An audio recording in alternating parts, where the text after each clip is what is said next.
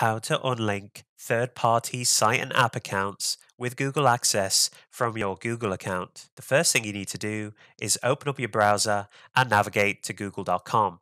Once you're here guys, navigate to the top right hand corner here to where it says sign in and left click on sign in.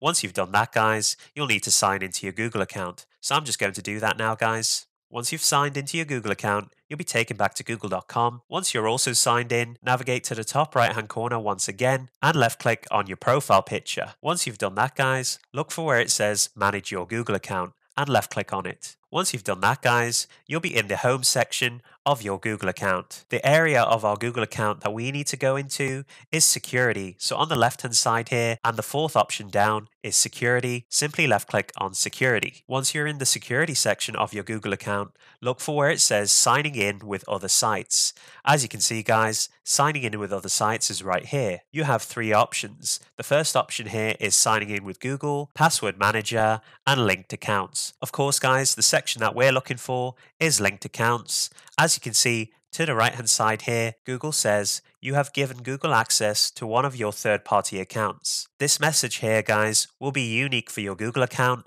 and will be dependent on how many third party accounts you have given Google access to. To unlink the third party account from your Google account, simply left click on this arrow here next to linked accounts. Once you've done that guys, you'll be taken to a window which says linked accounts. You have gave access to these third-party sites and apps. Google uses your linked accounts to do more for you, like sign you in or play music from your favorite music app.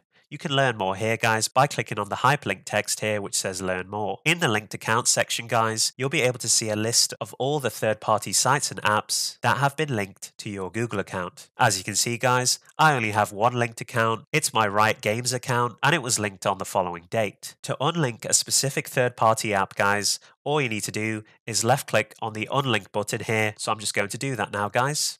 Once you've done that, you'll be greeted with this message here which says unlink. Google will no longer have access to your Riot Games account. Find out more about the kind of info that Riot Games shares with Google by reviewing their privacy policy. You have the option to cancel or to press OK.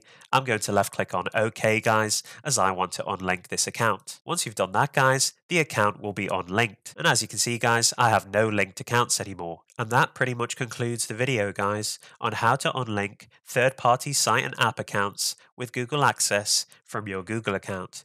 If you enjoyed this video, be sure to give it a like, comment down below, and most importantly of all, subscribe to support the channel. I'll see you on the next video to let you go.